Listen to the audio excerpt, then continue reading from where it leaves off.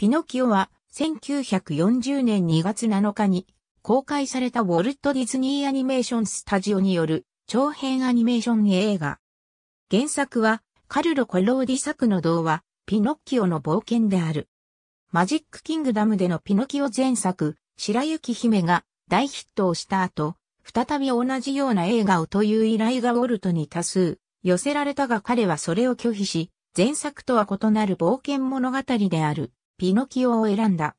しかし、原作は社会風刺の小説であり、ピノキオはいたずらっ子で子供っぽい性格が見られ、白雪姫のような花がなかったため、夢のある物語にするのは容易ではなかった。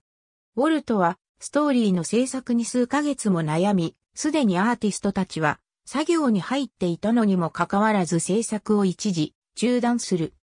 その間にピノキオは無邪気な性格に変更され、さらに原作ではピノキオにハンマーをぶつけられすぐに死んでしまうコオロギをピノキオの両親、そしてストーリーテラーとしての役割も持つ重要なキャラクター、ジミニ・クリケットとして登場させることになった。制作が再開された後にも熟考を重ね、2年の歳月を経て、ついにテンポの良い夢と希望に溢れた冒険物語が完成した。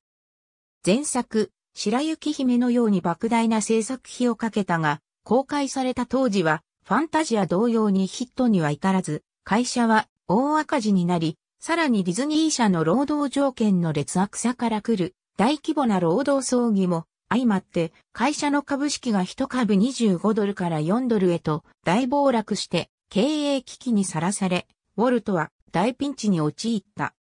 しかし劇中でジミニー・クリケットが歌った星に願いをは第13回アカデミー賞で歌曲賞を受賞し、アメリカ映画協会による映画史における偉大な歌百選でも第7位に入るなど古典アニメーションの傑作として今日でも愛され続けている。日本でのセルビデオ出荷本数は100万本。本作品には原作小説とは異なる場面が多い。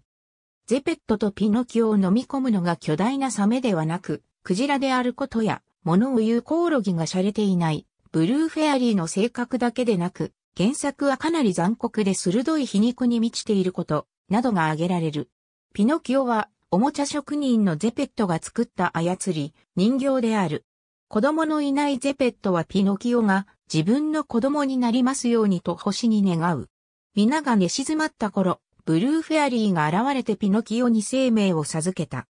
そして、一部始終を見ていたコオロギのジミニークリケットを両親役に任命し、勇気を持って正直で優しい性格になれば人間になれると言い残し、消えていった。騒音で目覚めたゼペットは生命を授かったピノキオを見て大喜びし、翌日ピノキオを学校へ送り出す。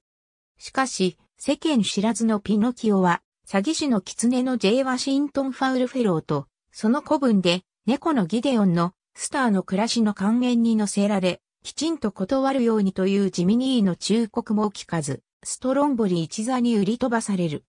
意図のない人形ということで一座のスターになったが、何も知らないピノキオが家に帰ろうとした途端、怒ったストロンボリによって、鳥かごに閉じ込められてしまった。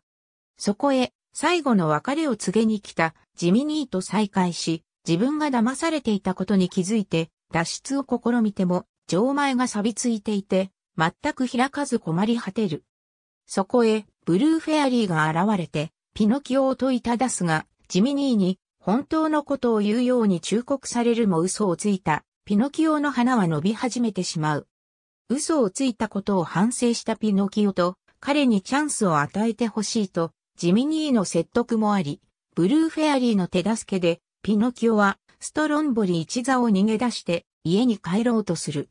しかし、家に帰る途中で、再び、ファウルフェローとギデオンに呼び止められ、今度は、遊びの島、プレジャーアイランドへ行こうと誘われ、拉致同然に連れて行かれたピノキオは馬車に乗り、島へ向かう。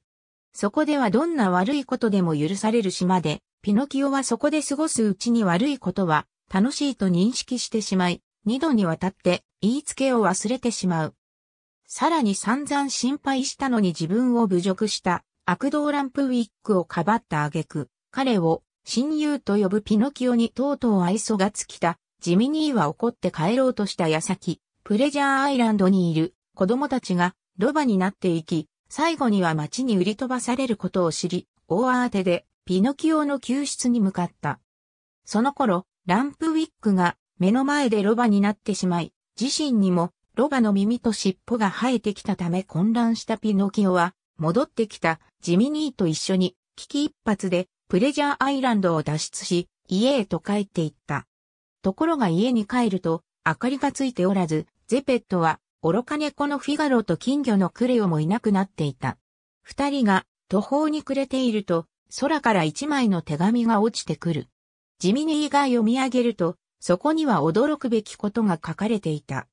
いつまで経っても帰ってこないピノキオを心配して探しに行ったゼッペットが船で海へ出かけた矢先クジラの王様、モンストロに飲み込まれてしまっていた。ピノキオとジミニーは海に行き、ゼペットを救出しようと尻尾に石を縛り付けて、飛び込むも自身もモンストロに飲み込まれ、腹の中でゼペットとの再会を果たす。ピノキオにロバの耳や尻尾が生えていたことに驚くゼペットだが、何も言わずに優しく抱いた。船にあったイカダを見たピノキオは、知恵と勇気で腹の中で焚き火を起こし、ゼペットと一緒にモンストロの腹の中から脱出することに成功するが、怒ったモンストロに追いかけられることになる。イカダが壊れてもピノキオは力尽きかけたゼペットをかばって必死に岩場まで泳いだ。モンストロは勢いよく岩場に突っ込んだのを最後に静止不明となる。ゼペットたちとジミニーはかろうじて生還するが、彼らをかばったピノキオは、波打ち剤に、うつ伏せで倒れているところを、ジミニーに発見されるも、すでに息絶えてしまっていた。死んでしまったピノキオを前に、ゼペットとジミニーたちは悲しみに暮れていた。そこへ、ブルーフェアリーが現れ、ピノキオは勇気ある行動を称えられる。そして彼女の力で生き返らせるとともに、本当の人間の子供に姿を変えた。目を覚ましたピノキオは、ゼペットと喜びを分かち合った。ジミニーが外へ出て、空の星に向かい礼を言うと、胸元に両親の証である金色のバッジが現れ、ジミニーは感激に浸った。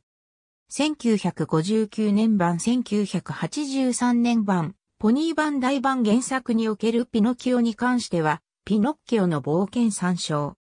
2003年6月6日発売のピノキオスペシャルエディションマイナス -DVD の PR ソングとして、星に願いを、を、矢沢永吉がカバーしたものが使用された。日本で2017年6月21日に、ウォルト・ディズニー・ジャパンから、ブルーレイディスクと DVD、デジタルコピー、ムービーネックスワールドがセットになったムービーネックスが発売された。ボーナスコンテンツ。ありがとうございます。